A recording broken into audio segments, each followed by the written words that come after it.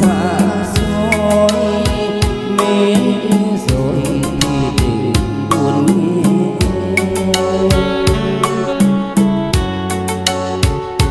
Hôm nay anh còn bàn tay, anh còn đôi vai, anh còn